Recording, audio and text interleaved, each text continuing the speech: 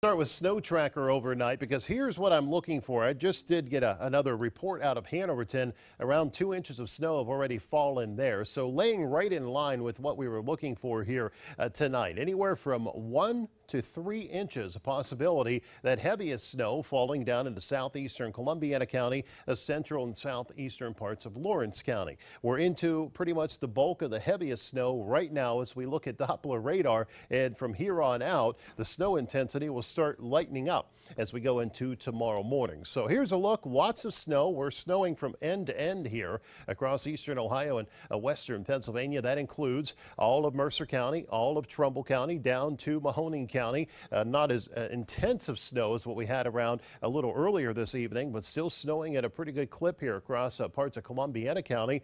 Out to the west, the back edge of this snow moving into the Mansfield area, and this just will go poof pretty much as we go into early tomorrow morning as the storm moves off to the eastern coast and it'll take away all this steady snow. But as we get into the day tomorrow, we'll look for more snow showers to develop. This time they will be enhanced by Lake Erie and the colder temperatures. So here we go. The rest of the evening, the steady snow moving on out of here, uh, laying a blanket of snow down, enough to cause some tricky travel. You saw live drive action cam a little earlier in the newscast. The roads are getting covered, uh, even where they've been treated. They'll quickly get covered before that treatment can work. Uh, slippery spots possible right into uh, first news tomorrow morning. Rich will be in here taking an eye, uh, looking at uh, snow showers across the area, but this time they'll be more scattered into the early morning. But it's going to be cold and blustery around 20 degrees, and then on and off snow showers possible tomorrow.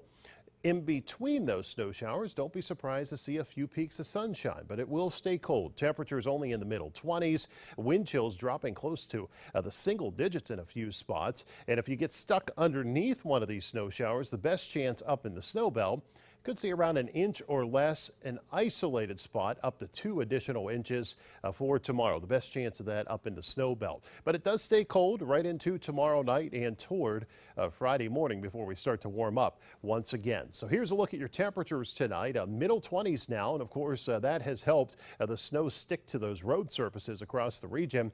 We'll drop to 20 overnight. Snow likely. Uh, total overnight accumulation. That includes what's fallen and what will fall from here on out. One to to three inches. Uh, that heavier snow uh, mainly into Columbiana County on that higher end. Tomorrow 24 scattered snow showers again around an inch or less underneath most of those snow bands. Isolated could see up to two.